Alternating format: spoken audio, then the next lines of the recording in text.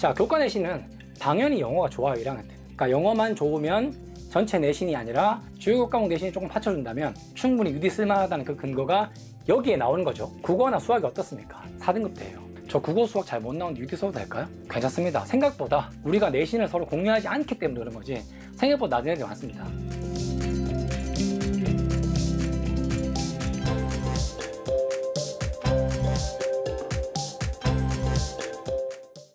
반갑습니다. KS 어건 박대건 소장입니다. 이번 시간에는 UD를 어, 지원하는 다수의 학생들이 기말고사를 마무리하고 이제 본격적으로 아 내신을 대충 잡아보니까 이렇고 그리고 지금부터는 생활기록부를 마감해야 되는데 어떤 식으로 준비를 해야 될지 왜냐 우리가 원서를 어떤 방식으로 쓸지에 대한 고민을 이미 한 다음에 생활기록부도 좀 마감해야 되겠죠 그래서 고르기 전에 우리가 그러면 연대를 쓴다면 우리가 어떻게 준비하면 좋을까 그리고 이제 고3 1학기 성적이 거의 나온다는 전제하에서 우리가 이러한 내신 성적을 가지고 연대 유디나 또는 하스나 뭐 여러 전형들을 지원한다고 했을 때 그게 어떤 도움이 될지 정확한 좀 자료를 가지고 함께 살펴보도록 하겠습니다. 지원 합격 가능 내신 예측입니다. 사실 내신에 대해서는 우리가 많은 학부모님들께서 가장 궁금해하는 부분들이 하죠. 그래서 저희가 상담을 할 때도 마찬가지고 전화 문의 오실 때도 우리 애가 이 정도 내신인데 가능할까? 혹은 내신 성적이 어느 정도면 유디 쓸수 있어요? 하스는 어때야 돼요? 우리가 면접을 잘하는데 이런 질문들 많이 하시죠. 그래서 어, 저희가 내부적으로 이미 공개된 연대 자료를 통해서 통계 프로그램을 통해서 어느 정도면 좀 지원 가능할까 제가 예측에 대한 추정치도 조금 담아봤고요. 합격자 내신 및 번호 강좌 안내. 어찌됐든 간 합격자 내신이 그럼 1, 2, 3학기 때 어땠나? 이런 부분들도 좀 꼼꼼하게 볼 예정입니다. 그리고 이제 강좌에 대한 소개도 지난 영상에서도 한번 설명을 드렸지만 우리가 이번에는 이런 강좌들 속에서 좀 디테일한 부분을 다루겠다 어, 좀 다른 방식으로 접근해 봤고요 자 지금부터는 좀 더 디테일한 숫자를 보겠습니다 아마 이 영상을 시청하시는 부모님들께서 도대체 그런 몇 점대가 필요하지? 얼마여야 돼? 제가 지난 17년 정도 수업 강의를 하면서 컨설팅도 했죠 상담을 하면서 매년 질문 부모님께서 질문하신 게 있어요 몇 점대면 가요? 우리 아이 성적이 이런데 될까요? 한 번은 제가 우스갯소리 말씀드리죠 어머니 그거 제가 알면 점집을 하죠 자 중요한 건 그게 아니라 어느 정도 range 정도는 나와줘야 된다는 거잖아요 그래서 우리는 대학 어디 가서 입결 통계를 보는 거고 여러 영상들이나 학원들에 가서 상담을 받는 거죠. 어떤 내신에 어떤 경우 합격했다. 우리가 알고 싶은 건 뭡니까? 학교 선생님이 과거의 선배들이 어떤 내신으로 들어갔다가 중요한 게 아니라 내가 되냐 안 되냐가 중요한 거잖아요. 지난해가 어땠다는 거는 어디까지나 지난해 얘기예요. 지금은 지금이잖아요. 전형도 바뀌었잖아요. 그래서 이게 중요한 거예요. 먼저 보시겠습니다. 경쟁률은 이미 다 아시는 부분들이기 때문에 큰 차이가 없을 거예요. 적어도 UD의 경쟁률은 그게 문과가 됐든 이과가 됐든 합쳐보면 5점 정도가 되겠죠. 물론 지난해 경우에는 10대 1이었습니다. 그러니까 10명 뽑는데 100명 지원했다는 거죠. 자, 충원율 같은 경우 어떻죠? UD는 수능 최저가 없기 때문에 그냥 치고 면접 다른 학교를 가버리면 충원이 바로바로 되죠. UD의 경우에는 50% 70% 지난해가 유독 많이 빠졌기 때문에 그렇죠. 제가 89번이라고 얘기했으니까. 근데 생명과학공은 어떻죠? 6명 나갔습니다. 7명 나갔습니다. 10명밖에 안 뽑아서 불안했는데 이 정도로 빠지네. 다는 안 나가도 반 이상은 나가네? 이것도 하나의 팁이죠. 1단계 합격자들 성적을 볼까요? 1단계 통과된 애들의 인문은 2.8983이었어요. 아, 높은데? 여기에 명점이 있죠. 제가 뭐라 그랬습니까? UD 인문 4개월 통과한 1단계 합격자들의 평균 성적이 2.83이라는 얘기는 다른 말로 얘기하면 여기 안에 있는 구성, 외고생인지 일반고인지 자세하게 안 나와 있어요. 제가 지난 설명할 때 늘 말씀드렸죠. UD 지원자들의 외고생이 몇 퍼센트였고, 하스 지원자들의 외고생이 몇 퍼센트였고, 고교 구성에 대해서 따로 말씀드렸던 이유가 바로 거기에 있는 거예요. 설명에 늘 그런 구성에 대해 말씀을 드렸기 때문에 이번 자료에 안 담았습니다.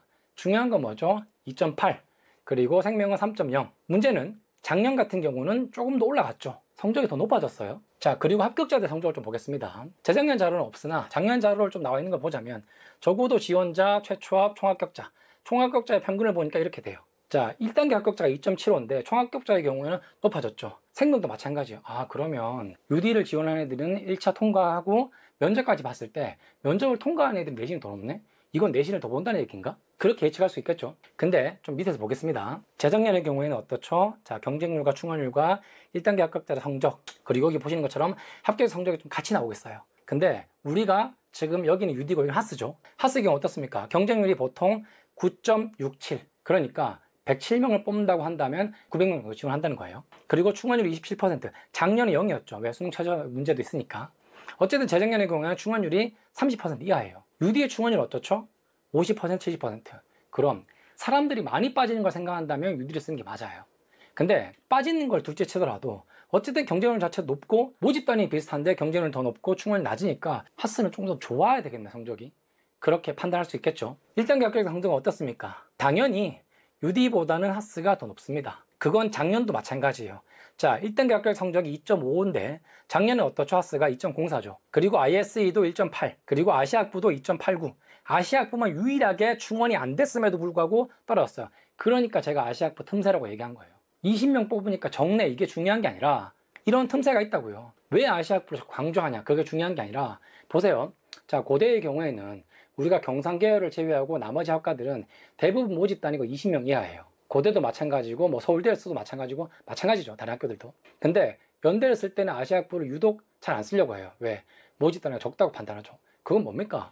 상대적으로 유디나 하스에 비해서 모집 단위가 적은 거지 다른 학과들에 비해서는 똑같은 거예요. 그러니까 한번 노려볼 만하다는 거죠. 물론 아시아학부로 들어가서 1학년 성도 이후에 전공도 세부 전공에 대한 구분 내가 선택할 수 있는 게 아니라 그냥 아시아학부만 해야 돼요 그런 제한이 있죠 그럼에도 불구하고 일단 들어가는 게 목적이라면 한번 해볼 만 하다는 거 그래서 지원자, 면접, 최초합 성적을 보니까 UD와 하스, ISE, 아시아학부는 이런 차이를 가지고 있다 그러면 제가 말씀드릴게요 2024학년도는 충원이 0이었습니다. 이유가 뭐였죠? 제가 수능 최저 말씀드렸죠. 이제 올해는 수능 최저 조건이 완화됐습니다. 영어 2등급. 인원은 늘고 수능 최저는 줄어들었어요. 그럼 어떻게 되죠? 자, UD는 재작년도 작년도 거의 다 면접 보러 갑니다. 왜? 수능 최저 없으니까. 단지 시험이 10월 말에 있기 때문에 불안한 거예요. 올해 기준으로 수능은 11월 14일, 연세대학교 UD 면접일은 10월 26일입니다. 보름보다 한 20일 정도 앞에 있죠. 어쨌든 수능 전에 시험 보는 거니까 좀 불안해요. 다행히도 수능 전달이니까 심리적으로는 좀 거리감이 있어요. 여담으로 얘기하자면 고려대학교 계열적 합평의 경우는 어떻죠? 수능 전주에 시험이잖아요. 올해 기준으로 고려대학교 계열적 합평은 11월 9일이에요. 수능 전주 토요일 날 시험 보고 그 다음 주 목요일 날 수능 봐야 돼요. 그럼 고려대학교 계열적 합평에 내가 면접을 잘 봤냐 못 봤냐에 따라서 수능에도 영향을 줄 수밖에 없죠. 난 멘탈이 강해서 괜찮은데요? 괜찮으면 쓰는 거죠. 자, 제가 지난 설명에서 말씀드렸습니다. 고려대학교 계열적 합평의 응시율 추이가 통상 70%예요. 그럼 뭐죠? 고려대학교 궤적을 쓰는 애들 중에서 10명 중에 3명은 안 가는 거예요. 왜 안 갈까요? 수능에 대한 불안감 있지 않을까요? 그러니까 원서 쓸 때랑 막상 시험 보러 할 때랑은 달라질 수밖에 없다는 거예요. 그만큼 학생들이 긴장하고 불안해한다는 거예요. 면접밖에 없으니까 50%니까 해볼만 하다. 쓸 때는 그렇게 쓰죠. 근데 임박하면 생각이 달라져요. 수능 체제를 조금 더 맞춰서 서류 중심으로 가는 게 낫지 않을까? 이런 고민을 하니까 그 세 명이 안 가는 거예요. 그런 부분도 고민하셔야 되겠죠. 하스나 ISE, 아시아학부 있습니다. 면접 응시율 어떻습니까? 재작년에 비해서 떨어졌죠. 왜 그럴까요? 수능 최저. 영어 1등급의 영향이 이거죠. 50%대에서 머물고 있잖아요. 10명 중에 4명 이상은 안 갔다는 거예요. 4명 가까이는. 그러다 보니 재작년에 비해서 훨씬 더 적은 인원. 특히나 ISE 같은 경우는 다른 계열에 비해서 내신 성적 자체가 낮다 보니까 수능 최저 충족률이 42% 밖에 안 되는 거예요. 그럼 ISE 적응은 20명인데 지난해 기준으로 60명 정도 학생이 원서를 썼고 시험 보러 간 애들이 반 정도밖에 안 됐으니까 30명 정도 보러 갔습니다. 근데 수능 최저라 충족 안 한 애들이 이만큼이나 돼요. 그러면 정말 소수의 경쟁이죠. 인원 적으니까 쓰기 힘들어가 아니라 다른 학교들에 비하면 정원은 똑같고 생각보다 응시율이 낮기 때문에 수능 최저 못 맞추기 때문에 괜찮은 거예요. 이렇게 보셔야 되죠. 그래서 제가 정리한 게 뭡니까? 유디를 제외하고 수능 최저 충족률을 하는 게 여부가 면접을 갈지 말지 결정하는 거예요. 왜? 수능 보고 다음에 여기 시험 있잖아요. 하스 ISE 아시아학부 연세대학교 학생부 종합전 국제형은 수능 다음 주 토요일에 했습니다. UD가 10월, 고려대학교 계열 적합형이 수능 전주, 그리고 올해 수능 11월 14일 보고 나서 그 다음 주 토요일이 바로 요 전형의 시험일이에요. 그러면 수능 보고 나서 대충 가채점 했을 때 아, 안 되겠는데? 라고 생각하는 애들은 안 가겠죠. 혹은 가채점 했는데 될 것 같은데? 하고 갔는데 막상 나중에 열어보니까 수능차 충족이 안 되는 애도 있을 거예요. 그러니까 이것들의 차이가 발생하는 거죠. 결국은 42%인데 면접 응시율 50%라는 건 적어도 수능 최저 안 된 애들 중에 제법 보러 갔다는 거 아니에요. 나중에 열어보니까 안 된 거예요. 그러니까 이런 경우도 있, 있으니까 그런 걸 참고하실 필요가 있다는 거죠. 지금 보여드린 자료는요. 올해 4월 달에 연세대학교에서 재직하고 있는 고등학교 선생님들 대상으로 설명하실 때 나온 자료예요. 원칙적으로 나와 있는 자료는 23학년도 자료입니다. 이게 학교에서 공개한 자료예요. 보시면 평균과 표준 편차 상위 34%의 지원자 내신이 이렇고 대학도 추정치를 내놨죠. 6.64까지도 있습니다. 아니 6점대 애들이 UD를 쓴다고? 이거 뭐 하는 거야? 6점대 애들은 당연히 영재고나 자사고나 또는 특목고 애들 중에 쓰겠죠. 근데 합격자 볼게요. 합격자들 보니까 하위 4.6도 있는 거예요. 재작년입니다. 공학 볼까요? 6.4도 있어요. 과거나 영재고 중에 쓴 애도 있겠죠, 분명히. 우리가 고교 구성에 대해서는 함부로 예단할 수 없어요. 다만, 이런 내신대가 붙었다는 건 일반고는 아닐 거잖아요. 그러니 추정해 볼 뿐이라는 거죠. 그 기준으로 봤더니 아시아부는 총합격자가 4.5도 있고 하스의 경우에는 4.4도 있습니다. 하위 0.5%. 그러니까 거의 문 닫고 들어간 친구들의 얘기예요. 그리고 ISE는 4.4까지 있어요. 이걸 바탕으로 제가 지원자들 그리고 지원율 매년 우리가 연대는 입시가 끝나고 나면 수시에 대해서 1, 2, 3차 취업률 같은 거 발표를 하잖아요. 이번에는 당연히 학생부 종합전형은 취업이 안 들어왔기 때문에 어쨌든 그런 통계 자료를 가지고 제가 나름 추정을 해봤어요. 그랬더니 자 유디는 어떻죠? 5.2.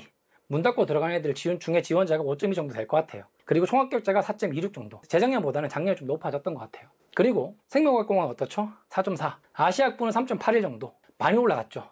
왜냐하면 작년 같은 경우는 수정 최저 못 맞춰서 실제로 추가 모집이 안 됐던 애들이 많기 때문에 점수가 확 뛴 겁니다. 그리고 하스 같은 경우는 3.05까지도 올라가요. 3.05라는 건 고교 유형 관계없이 문 닫고 들어간 애들 중에 가장 뒤에 있는 애가 3.05라는 거예요.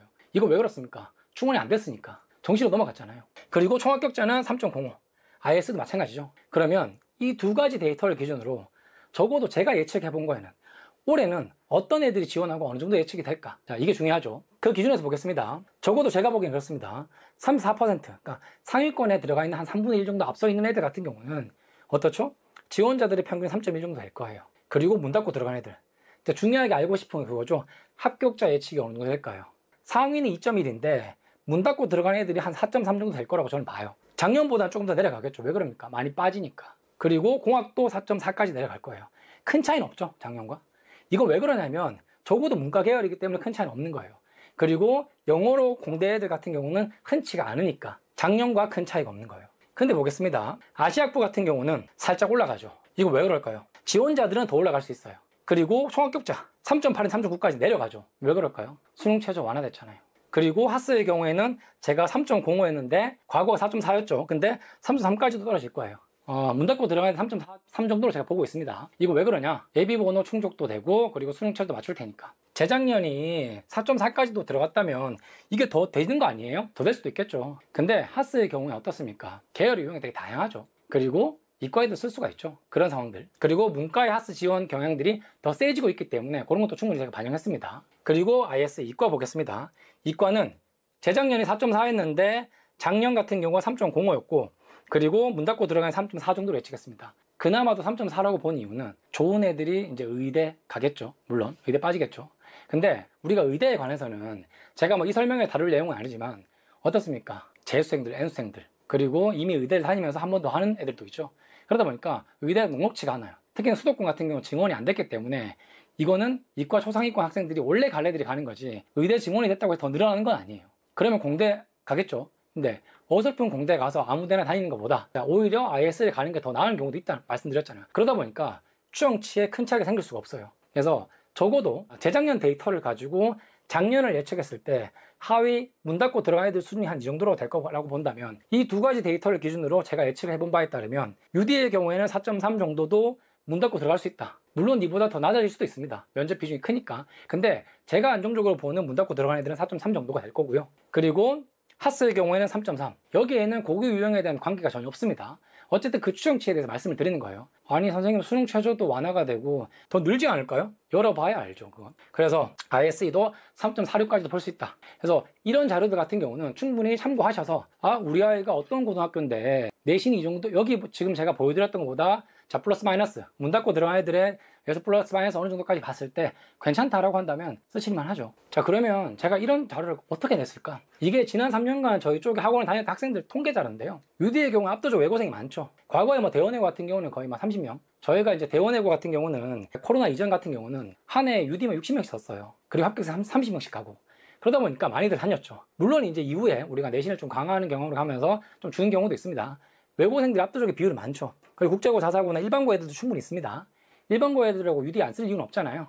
해외 체류 경험 있다거나 내신이 좋은 친구들은 충분히 쓸 수가 있죠. HASS의 경우나 이제 학생부 종합전형이 어떻습니까? 여기는 제가 고대 학우랑 고대 계적 학업우수형이 작년까지 면접이 있었으니까요. 저희 학생들 인적 구성을 보니까 외고 애들이 그래도 제법 됩니다. 자사고 애들이 오히려 더 많죠, UD보다. 일반고는 구성이 더 다양해요, UD보다. 그래서 이런 학생들이 그간에 저희 쪽에 수강하면서 또는 final 수업을 들으면서 모아놓은 데이터 그 정석들을 가지고 추정을 해보니까 특히 앞서 보셨던 것처럼 작년자로 제가 추정치 있잖아요. 요거는 재정연 베이스를 기반으로 해서 저희가 실제 다녔던 학생들이 모아서 보니까 이런 결과값이 나오고 그걸 가지고 한 번 더 예측값을 돌리니까 이렇게 나왔다는 거죠. 그래서 그럼 실제 합격자들은 어떤 내신들을 가지고 있을까? 저는 합격생 생지부들을 웬만하면 다 보니까요. 자, 1학년 때 보겠습니다. 지금 보시는 게 UD입니다. 자, 교과 내신은 당연히 영어가 좋아요, 1학년 때는. 그러니까 영어만 좋으면 전체 내신이 아니라 주요 과목 내신이 조금 받쳐준다면 충분히 UD 쓸만하다는 그 근거가 여기에 나오는 거죠. 그래서 보시는 것처럼 우리가 좀 더 중요하게 봐야 되는 건 그거죠. 국어나 수학이 어떻습니까? 4등급 때예요.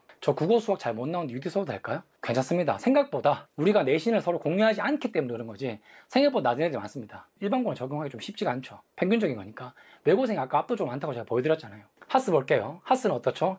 전체적으로 이 그래프 높이가 높죠. 높을수록 내신이 좋은 거기 때문에 UD보다는 UD는 어떻죠? 특정 영역에서의 어떤 등급이 높다, 높았다면 하스는 골고루 높은 경향을 가지고 있죠. 특히나 수학이 골고루 잘 나온다는 거. 그런 식으로 좀 이해할 수가 있습니다. 그리고 ISE. 자, 이과는 더하죠. 다 좋죠. 하지만 아시학부의 경우에는 전체적으로 조금씩 낮죠. 그런 경향성들 참고하시면 되겠습니다. 그래서 UD 어, 기출 문제 어땠냐? 이건 뭐 저뿐만 아니라 여러 설명에 다 들으셨을 거예요. 그래서 기출 문제에 대해서 자세하게 뭐가 어떻다 이런 걸 다루는 것보다는 그건 저 과거 영상에 좀 보시면 좋을 것 같고요. 자, 문제 유형이 어떻죠? 영어제 시문의 문항 두 개, 생명의 경우에는 영어제 시문 문항 세 개. 이제 같으니까 통합되니까 차이가 없죠. 그리고 문항 특징이 뭐죠? 국제에는 저자의 의도 개념과 그리고 교과 외 해외 매거진이나 교수 기고문들이 많이 나옵니다. 그래서 UD 제시문들은 우리가 어느 학원에서 또는 어디에서도 볼 수가 없어요. EBS 수능 영어 특강 거기 지문에서 나오지 않습니다. UD는 그건 수능과 연계율을 70% 맞추는 게 목적이있지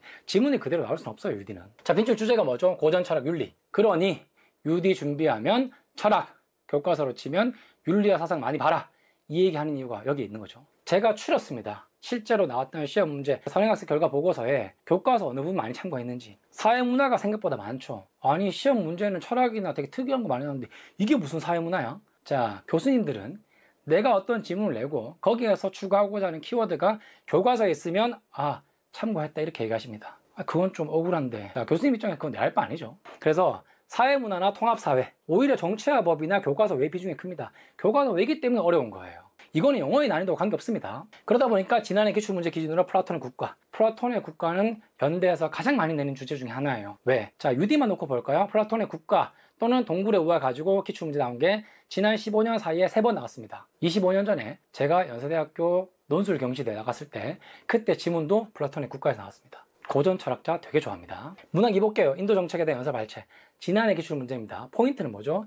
인도 정책이라는 건 적어도 우리가 2차 대전 이후에 국제 정세를 알고 있냐 이거예요. UD에서 국제학 배우잖아요.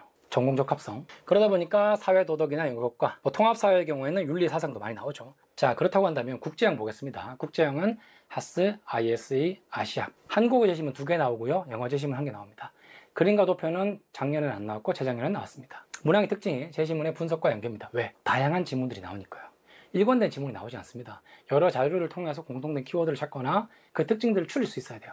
분석 능력이 중요하죠. 그래서 교과의 출처가 예술과 철학, 오히려 UD가 철학에 좀 더 포커스를 갖추고 있다면 철학이나 문학에 맞추고 있다면 하스는 철학 관련된 기사거나 누군가의 칼럼, 그러니까 원문을 그대로 내기보다는 한 번 더 정제된 자료를 많이 내는 특징이 있습니다. 그러다 보니까 빈출 주제가 뭐죠? 과학윤리와 민주주의, 의사결정, 그리고 심리학 개념도 제법 나옵니다. 교과서는 어떻죠? 자, 대놓고 윤사가 많죠. 사회문화는 제일 만만하죠. 그리고 생활과 윤리. 우리 학교는 생활과 윤리와 사회문화 배우니까 괜찮지 않을까요? 그거랑 시험 문제 실제 보는 거랑은 별개죠. 그러다 보니 독서 교과서에서 그냥 발췌를 하는 경우도 있습니다. 그래서 유디가 어려운 거예요.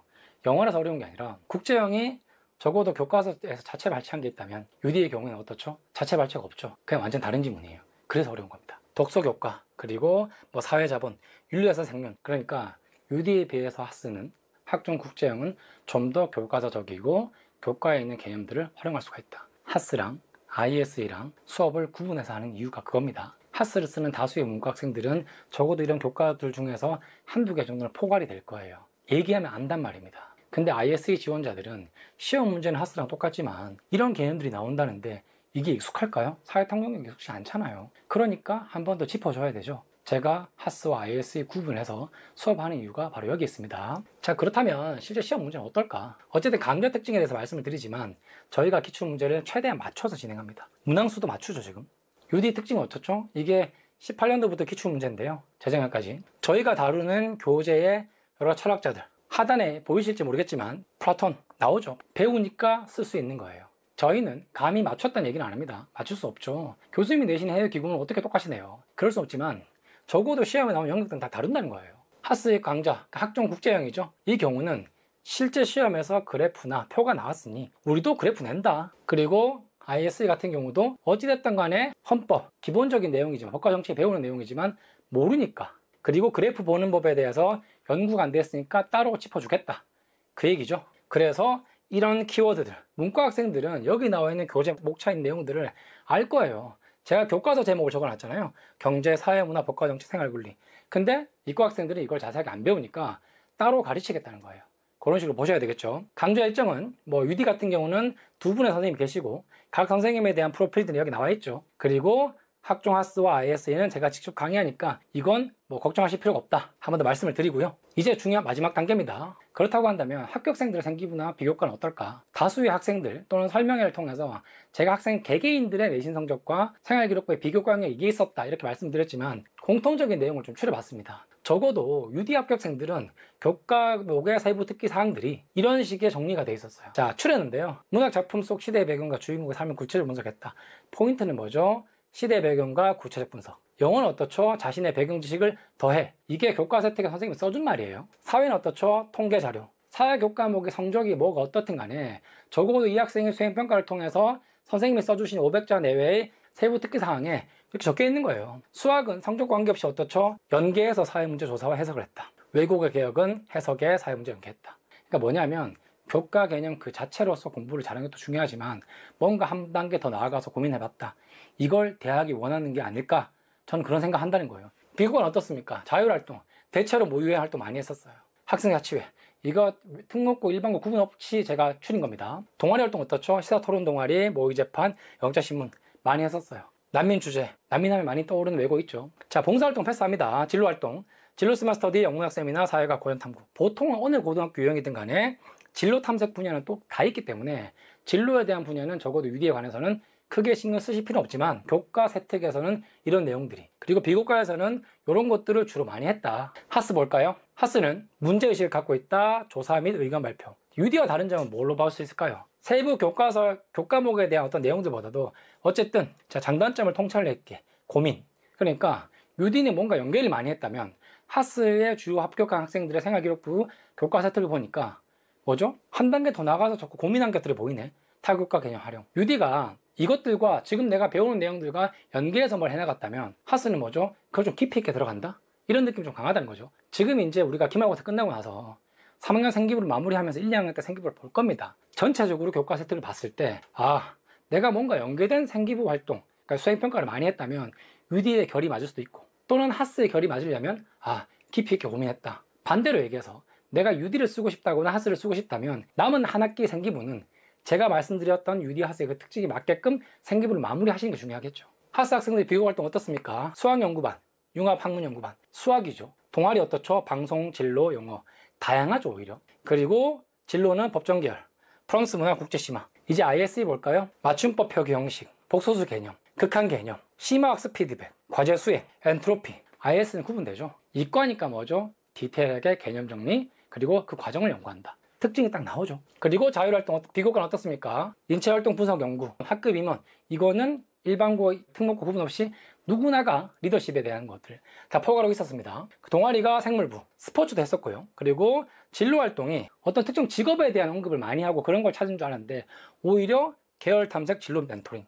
진로 멘토링은 사실 어느 학교나 다 하는 거잖아요. 그래서 이과 학생들 같은 경우는 오히려 내가 어느 분야로 특정 나가야지에 대한 얘기보다도 어, 진로에 대해서 쓰겠죠. 화학자, 과학자, 연구원 쓰겠죠. 근데 막상 그 디테일 활동 내용을 보면 자세가 없어요, 오히려. 그러니까 문과형의 유디냐 하스보다는 ISE가 그냥 진로 탐색 검사를 통해서 내 적성이 이과 쪽이라는 걸 파악하게 됐다. 이런 쪽이 많았어요. 그래서 이과는 크게 고민할 필요 없다는 거. 지난주에 이어서 이번 주에 UD와 하스에 대해서 설명 한번 더 드렸고요.